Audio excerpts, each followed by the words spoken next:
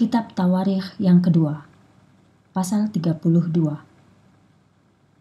Raja Asyur membuat kesukaran kepada Hizkia. Setelah semua hal yang menunjukkan kesetiaan Hizkia dilakukan, Sanherib, Raja Asyur, datang menyerang negeri Yehuda. Sanherib dan pasukannya berkemah di luar benteng. Ia melakukan itu sehingga dapat diaturnya rencana mengalahkan kota itu. Sanherib ingin merebut kota-kota itu. Ketika Hizkia mengetahui bahwa Sanherib datang ke Yerusalem menyerangnya, Hizkia berbicara kepada pegawai dan komandannya. Mereka semua setuju membendung semua air yang mengalir keluar kota. Para pegawai dan komandannya menolong Hizkia. Banyak orang yang datang dan membendung semua aliran air dan sungai kecil mengalir di tengah-tengah negeri itu. Mereka berkata, Raja Asyur tidak mendapat cukup air ketika dia datang kemari. Hizkia memperkuat Yerusalem. Inilah yang dibuatnya. Dia membangun kembali semua bagian tembok yang telah rubuh. Ia membangun menara-menara pada tembok. Ia juga membangun tembok yang lain di luar dinding yang pertama. Ia memperkuat dasar tembok istana di bagian timur dari bagian Yerusalem yang lama ia membuat pedang dan perisai. Hizkia memilih kapten-kapten perang memimpin mereka. Ia bertemu dengan para kapten itu di tempat terbuka dekat gerbang kota. Ia berbicara kepada mereka dan membesarkan hati mereka. Katanya, "Tabah dan teguhlah. Jangan takut atau gentar terhadap Raja Asyur atau pasukan besar yang bersamanya." Kekuatan yang ada pada kita lebih besar daripada yang ada pada mereka. Raja Asyur hanyalah manusia, tetapi kita mempunyai Tuhan Allah kita yang bersama kita. Allah kita akan menolong kita.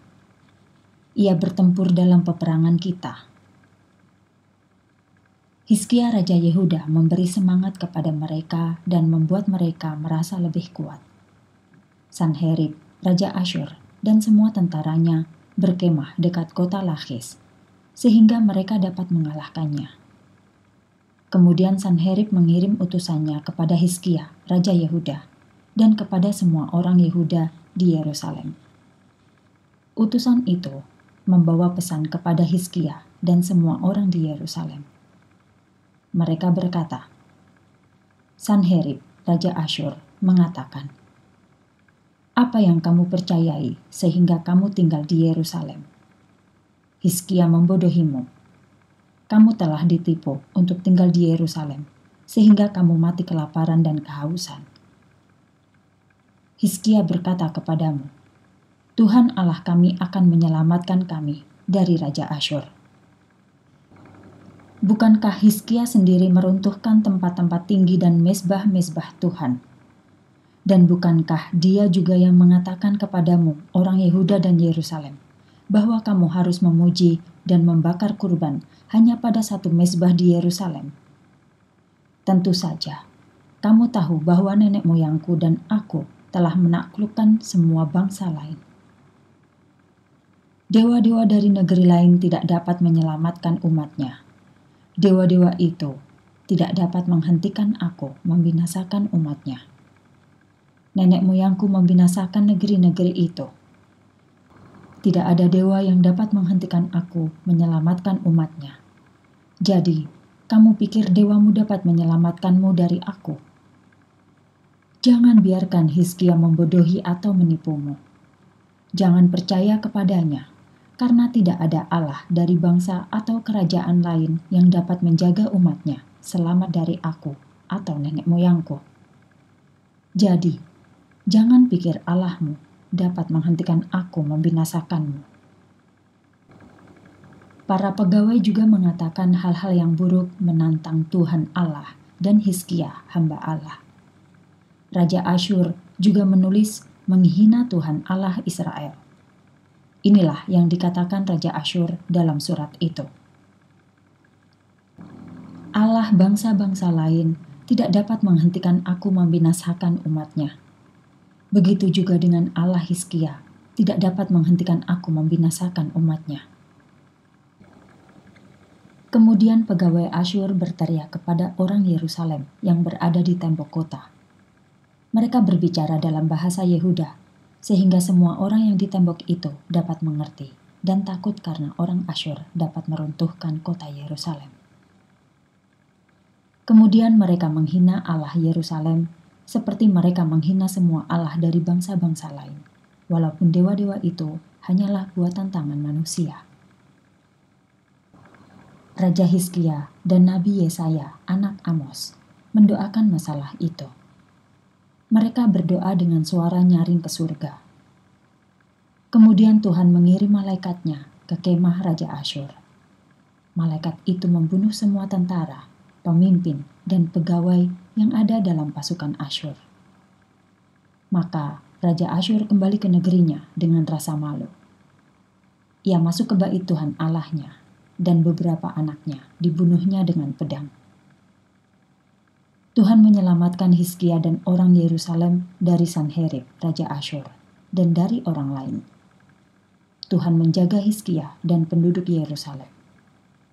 Banyak orang membawa persembahan kepada Tuhan ke Yerusalem mereka membawa benda berharga kepada Hizkia, Raja Yehuda.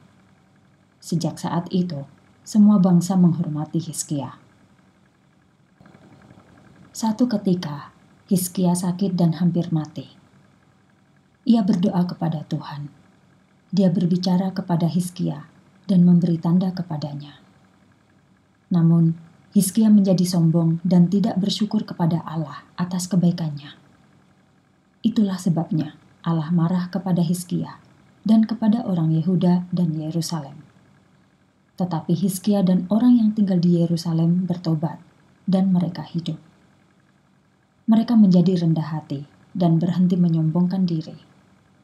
Amarah Tuhan tidak sampai kepada mereka selama Hizkia hidup. Hizkia mendapat banyak kekayaan dan kehormatan. Dia membuat tempat untuk menyimpan perak, emas, batu permata, rempah-rempah, perisai, dan barang-barang lain.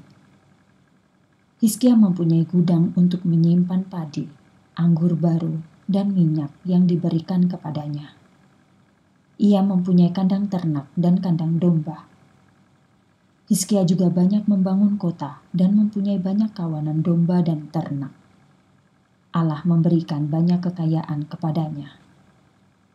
Hizkialah yang membendung air di hulu air Gihon dan mengalirkannya ke Yerusalem, ke bagian barat kota Daud. Dan dia berhasil dalam segala sesuatu yang dilakukannya. Satu waktu, pemimpin dari Babel mengirim utusan kepada Hizkia. Utusan itu bertanya mengenai tanda-tanda ajaib yang terjadi pada bangsa itu. Ketika mereka datang, Allah membiarkan Hizkia sendirian untuk mengujinya dan untuk mengetahui seluruh isi hatinya.